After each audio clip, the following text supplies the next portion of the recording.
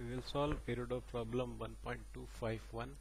In this problem there is a cylinder with mass m and radius r. Cylinder is uniform and a rope is tied is wound on the periphery of the cylinder. Mass per unit length of rope is m upon L.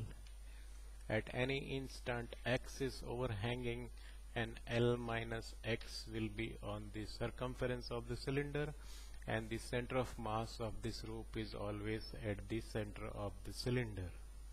So in this case separate it into two parts. One is this hanging rope and another is the cylinder with part of the rope. Common point is this so tension here let it be T. Take this part.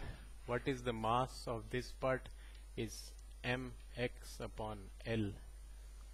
So if we draw a free body diagram, this mass is moving with an acceleration a. Downward force will be mgx upon L.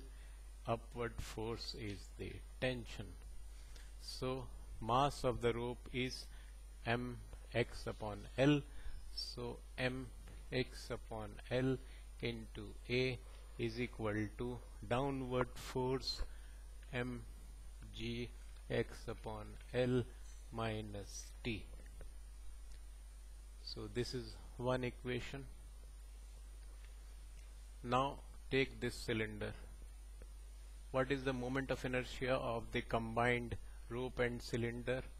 I dash is equal to m r square upon 2 plus what is the mass of the rope is m upon L into L minus x and it is at a distance r so r square.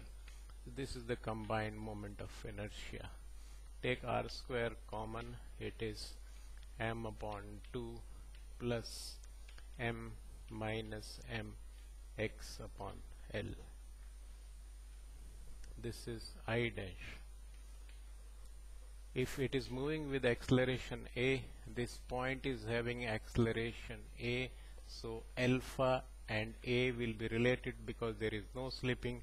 So a is equal to r alpha or alpha is a upon r.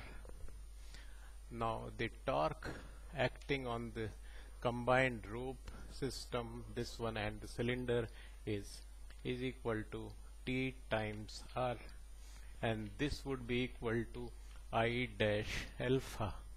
This is i dash. So tr is equal to r square m upon 2 plus m minus m x upon L. Alpha is a upon r. A upon r.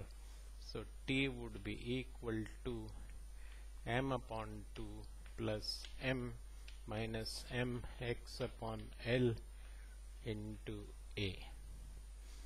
Put the value of t there so you get the equation mxa upon L is equal to mgx upon L minus m upon 2a minus ma plus mxa upon L this gets cancelled. So you get a into m plus m upon 2 is equal to mg x upon L. So the value of a would be equal to mg x upon L into m plus m upon 2 and the angular acceleration would be mgx upon r L into m plus m upon 2 this is the answer alpha in terms of the overhanging part of the rod so that solves the problem. Thank you